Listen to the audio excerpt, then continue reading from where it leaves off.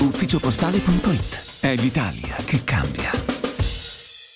Pediatria non si tocca è il messaggio arrivato dalle mamme e dai papà di Pesaro nella protesta organizzata in Piazzale Lazzarini per dire no all'ipotesi di accorpamento dei reparti di pediatria, ostetricia e ginecologia al primo piano della palazzina F dell'ospedale San Salvatore. Ogni volta che manifestiamo eh, il nostro disappunto a riguardo ci tranquillizzano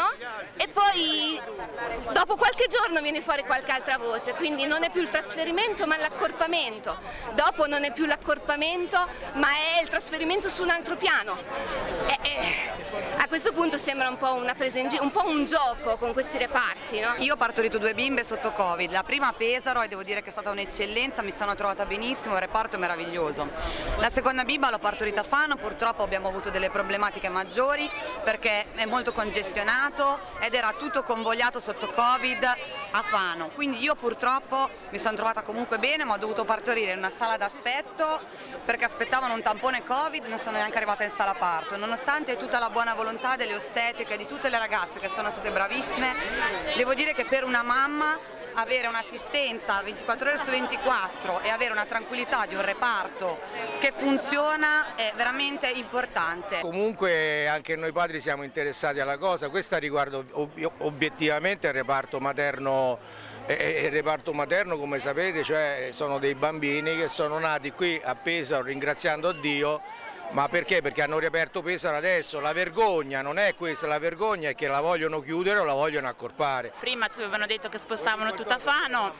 e poi hanno ritrattato, poi hanno detto che accorporavano i reparti, a noi questa cosa non ci sta bene perché Pesaro è una città grande, sono abbraccia un bacino di quasi 100.000 persone, tra mamme, eh, future mamme, mamme che comunque hanno problemi, bambini che possono avere problemi, il reparto era già a posto così, nel senso che è stato messo a posto nel 2015, è un reparto che funziona perché adesso accorporarlo insieme ad altri reparti con il rischio poi che se arriva qualche bambino con qualche infezione ci sono mamme che devono partorire, voglio dire non ha proprio senso. Alla protesta organizzata dal Comitato Mamme hanno voluto partecipare anche il segretario comunale PD Giampiero Bellucci e il consigliere regionale Andrea Biancani. Sì, devo dire che ho presentato l'ennesima interrogazione, un'interrogazione in questo caso urgente che verrà discussa la prossima settimana, martedì, dove chiedo finalmente di avere una data rispetto alla presentazione del piano per il progetto preliminare. Ancora siamo in questa fase, cioè ancora non c'è nulla,